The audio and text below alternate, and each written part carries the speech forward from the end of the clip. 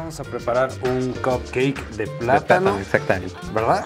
Y Claro. para eso tenemos a la estudiante, te voy a presentar a ti primero, Katia Rojas, y también tenemos a nuestro chef Diego Sandoval. ¿Cómo estás, chef? Muy bien, muy bien. Feliz de estar aquí como cada lunes. Yo estoy más feliz de que ustedes estén aquí. Yo ya quiero probar esto. Y bueno, para empezar, ¿qué tal si iniciamos con los ingredientes? Los ingredientes son levadura en polvo, vainilla, sal, huevo, azúcar, harina, mantequilla y el plátano. Muy bien, ya íbamos a ir viendo cantidades y Ah, todo claro eso, sí. ¿verdad? Sí. ¿Estás bien, Katia? ¿Todo, ¿Todo bien? Todo bien. Perfecto, muy bien. Bueno, pues, ¿por qué no empezamos? Bueno, lo primero que tenemos que hacer es hacer este puré con el plátano. Bueno, acá mi compañera va a empezar a, a Sí. machacarlo. Este lo podemos Ok. machacar ya sea con un vaso o lo podemos picar previamente para que no sea más rápido. Muy bien. Esto, pues, se ocupan aproximadamente tres piezas de plátano para preparar nuestra receta.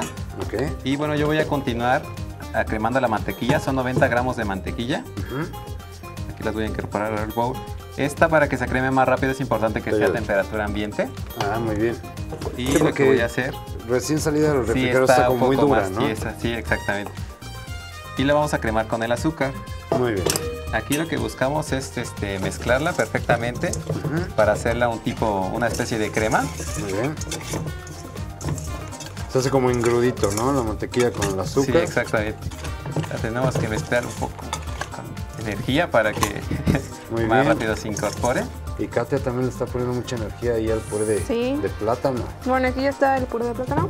Perfecto. Súper bien machacadito, ¿verdad? Sí. Sí, el siguiente paso va a ser este, incorporar nuestros, nuestros ingredientes secos. Ok. Vamos a juntar lo que es la sal con la levadura. Vamos a revolverla perfectamente con la harina. Muy bien. Ah, ok, perfecto. O sea, entonces vamos mezclando ahí los ingredientes. Y eso igual es este, nada más se va incorporando entre eso, ¿no? Sí, exactamente. Bueno, aquí ya tenemos este, nuestra, nuestra mantequilla un poco acremada. Ok, Y lo- el siguiente paso es incorporar el puré de plátano. ok, que ya lo dejo perfectamente. Ya perfectamente machacado. Katia, muy bien. Muy bien, Katia, se ve que estás aprendiendo mucho en esta escuela. Sí. Incorporamos el huevo, son aproximadamente tres piezas de huevo para, para la receta. Muy bien. Y esto lo seguimos mezclando para que se- ya nos apoyemos y se incorpore de mejor. Ok. El chiste es que nos quede como una masita. Nos debe de quedar, este, no, no nos debe quedar muy aguado, debe quedar una especie de masa. Ajá, como Por cremita, eso- como decías, Ajá, exactamente. Aquí también incorporamos nuestra vainilla. Muy bien. Vainilla para que le- Igual vainilla, la- lo que de, de acuerdo a tu gusto, ¿no? Sí, exactamente. Este, la vainilla no, no es de sabor muy fuerte, así que podemos incorporarle la, la cantidad que nosotros preferamos. Muy bien. Ya está mezclada. Ya aquí ya incorporó mi compañera este, los ingredientes secos. Ujú. Ya va quedando ya la cremita. ¿sí? Y el último paso va a ser incorporarlos Muy bien. a nuestra mezcla que tenemos aquí el huevo con la mantequilla cremada con azúcar. Y el plátano. Perfecto. Aquí es importante es incorporarlo de forma, de forma envolvente para que este, nuestra mezcla, nuestra mezcla este, no, se, no llegue a salir muy dura a la hora de hornearla. Muy bien. Es importante este, mezclarla de esta forma para que tengan buena textura los, los cupcakes. Ok, forma envolvente Es, incorporar de los bordes o del hacia medio hacia afuera, Muy exactamente. bien. Como si estuviéramos envolviendo un taco. O bueno, así le haría yo.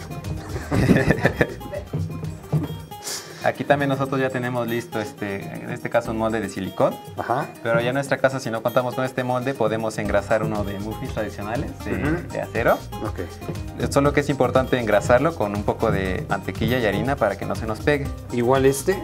¿O No, este como es material este, especial, silicón, pues Wow. rápidamente sale. O sea, ya no es necesario ahí estar engrasando. Engrasar, exacto.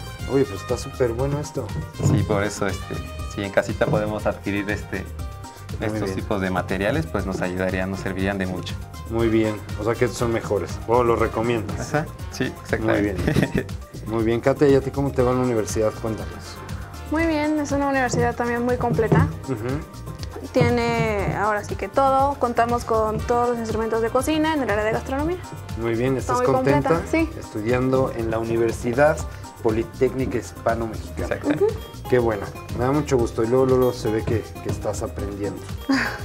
Bueno, aquí ya tenemos nuestra mezcla. Lo que vamos Ajá. a hacer es vaciarla en nuestro, en este caso en nuestros moldes. Ajá. Igual que no quede tan... Sí, exactamente, porque como van a subir, exacto. este, no queremos que se nos, que se nos riegue. Desborde, ¿no? Muy bien. Llenamos aproximadamente tres cuartos de, del, del molde Ajá. Para que tenga espacio para subir. Muy bien. Muy bien, muy bien. Y... eh, al horno. Al horno. Se van a hornear este, por aproximadamente 40 minutos a 180 grados. Muy bien. Y es importante revisarlos con un, con un cuchillo, con un palillo, este, clavarlo en el centro para que, este, como recomendaciones que ya está seco. Cuando sea, que no sale un nada palillo, pegadito. Exactamente, ya sale seco el palillo, en este caso el cuchillo, es señal de que ya están cocidos. Muy bien. ¿Y qué tal eso de no hacer ruido y no sé qué? Porque si no se baja la no ah, sí es importante también este, no, no este, abrir el horno antes de los 15 minutos de cocción, ya que esto puede hacer que nuestro producto se baje Ok. y ya no suba de la manera correcta. Perfecto. Bueno, en este caso nosotros aquí tenemos uno. Ya queda, listo. Ya listo. Muy bien. Este le podemos decorar este, con lo que más nos guste, podemos agregarle chocolate o crema batida encima para que le demos más sabor. Muy bien. Muy bien. A mí, me, por ejemplo, me gustaría ponerle crema batida y unas lunetitas de chocolate o algo así. Muy bien. Uy, pues rapidísimo. Exactamente. Muy bien. Bueno, ¿por qué no me das los datos Ah, de, claro que sí. de la universidad? Este, el número, nosotros estamos ubicados en calle Chalchicomula, número 21, Colonia La Paz.